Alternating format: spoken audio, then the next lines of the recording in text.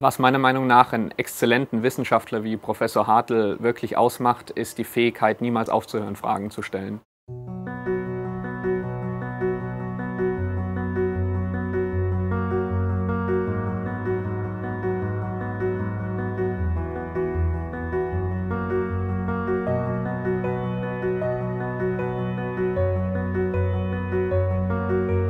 Also Direktor an einem Max-Planck-Institut wird man in der Regel, wenn man vorher etwas Wichtiges entdeckt hat. Und in meinem Fall ging es da um die Frage, wie Eiweißmoleküle, Proteine sich in ihre endgültige dreidimensionale Form falten. Wie finden Eiweißmoleküle in der Zelle ihre endgültige Form? In den Zellen formen sogenannte Ribosome Ketten aus aneinanderhängenden Aminosäuren.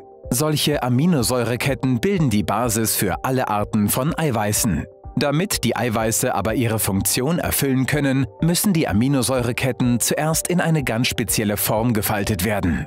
Das können sie nicht alleine, sondern brauchen dafür die Hilfe der Chaperone. Werden die Aminosäureketten nicht in ihre korrekte Form gefaltet, können sie nicht zu Eiweißen werden und ihre Funktion im Körper übernehmen. Da Aminosäureketten von Natur aus klebrig sind, besteht die Gefahr, dass falsch gefaltete Ketten untereinander verklumpen und schädliche Plaques bilden.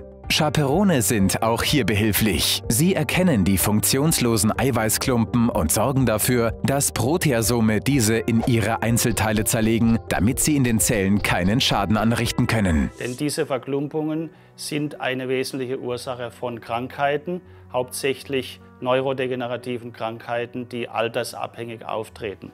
Und heute interessiert uns vor allem, wie können wir das Auftreten dieser äh, gefährlichen Aggregate verhindern und warum schädigen sie die Zellen. Ich kann mir kaum etwas Faszinierenderes vorstellen, als an den zellulären Lebensprozessen forschen zu dürfen. Die Hoffnung, etwas Neues herauszufinden, das vorher noch niemand in der Form gesehen oder erkannt hat. Und das Glücksgefühl, das daraus resultiert, wenn man das einmal erfahren hat, dann wird man sozusagen süchtig danach. Schön ist bei unserer Arbeit die ständige Interaktion mit jungen Wissenschaftlern. Wir haben in der Gruppe eine Vielzahl von jungen Doktoranden und Postdoktoranden aus verschiedenen Ländern, teilweise bis zu über zehn verschiedenen Nationen, die sehr eng zusammenarbeiten, die sehr motiviert sind, etwas Neues zu finden und mit denen zusammenzuarbeiten, hält einem auch selber jung. Es war eigentlich schon immer mein Wunsch, hier eine Promotion am Max-Planck-Institut zu machen. Ähm, aber mir hat eben noch der Doktorvater gefehlt.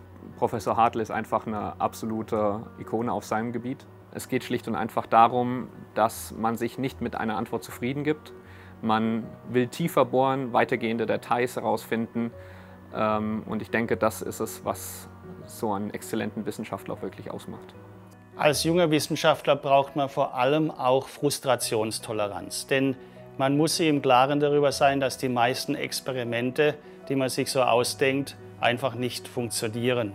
Es kann natürlich erstmal sehr frustrierend sein, wenn so ein Experiment nicht beim ersten Mal funktioniert. Aber das ist leider Gottes die Realität. Gerade da muss ich aber sagen, dass der Rückhalt von Professor Hartl sehr groß ist und wenn ein Experiment, das nach vielen Anläufen endlich mal funktioniert, auch die gewünschten Resultate bringt, dann ähm, ist das schon ein tolles Gefühl. Es kommen viele Faktoren zusammen, die notwendig sind, damit ein Wissenschaftler Erfolg hat. Zum Beispiel die Fähigkeit, mit anderen zu kommunizieren, die Fähigkeit, andere um Rat zu fragen. Man muss in einem Thema besonders tief drinstecken und dann zur gegebenen Zeit äh, die ähm, Weichen stellen, dass man in ein neues Gebiet eindringt. Erstmal eine Idee zu haben, dann die Idee mit Hartnäckig Hartnäckigkeit zu verfolgen, offen zu sein für neue Ansätze, ein Problem von einem neuen Blickwinkel zu beleuchten. Vor allem kommt es natürlich später dann auch darauf an, andere junge Leute anzuleiten. Seine Forschungsleistung geht auch geradlinig durch, aber schaut natürlich auf äh, Nebenwege. Was ist der richtige Weg? Und da ist er praktisch analog zu seinem Gebiet ein Paradebeispiel dafür, ein dunkles Gebiet zu erhellen. Es ist äh, toll, dass man für die Arbeit, die eigentlich so viel Spaß macht, dann auch noch besonders ausgezeichnet wird.